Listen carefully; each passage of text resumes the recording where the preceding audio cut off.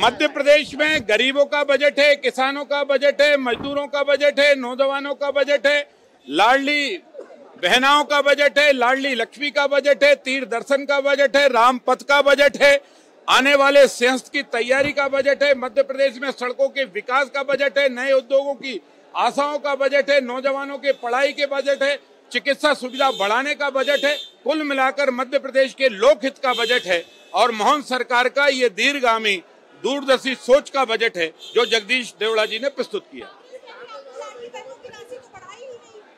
हमारे पास लाडली बहना तो है, कांग्रेस पर तो लाडली बहना भी नहीं है। उनकी बहन तो बोलकर चली जाती है देती नहीं है। हम तो जो कहते हैं, सो करते हैं। लाडली बहना भी है और लाडली लक्ष्मी भी है।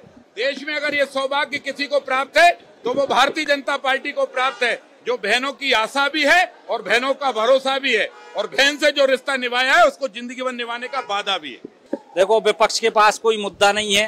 विपक्ष मुद्दा विहीन है और विपक्ष सकारात्मक भूमिका में ना होकर नकारात्मक भूमिका में है और इतना अच्छे बजट को उनने सुनने का भी आ, उनको सुनने का भी उन, उनने अवसर नहीं लिया वास्तव में ये बहुत दुर्भाग्यशाली है जिस प्रकार से राहुल गांधी तमाम प्रकार की बातें करते हैं और हिंदुओं को हिंदुओं को आतंकवादी बना बताते हैं। वास्तव में ये जो है कांग्रेस की का दिवालियापन कांग्रेस की मानसिकता इससे उजागर होती हो, होती है। और ये बजट बहुत ऐतिहासिक बजट है जिसमें डॉक्टर मोहन यादव जी ने आ, सब क्षेत्रों को एक साथ विकसित और पल्लवित करने का काम किया है। संस्कृति एवं पर्यटन के क्षेत्र में भी ऐतिहासिक बजट है।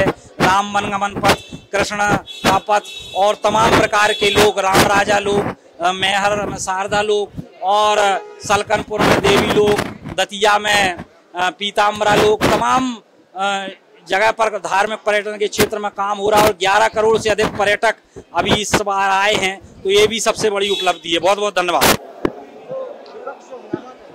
आदत बन गई है उनकी, विपक्ष की आदत बन गई।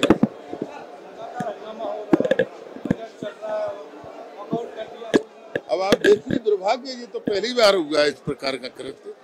कांग्रेस की हालत तो देखिए, किसी बात को सुनने ही तैयार नहीं। देश के विकास के लिए बजट है, सरवारा वर्ग के विकास के लिए बजट है।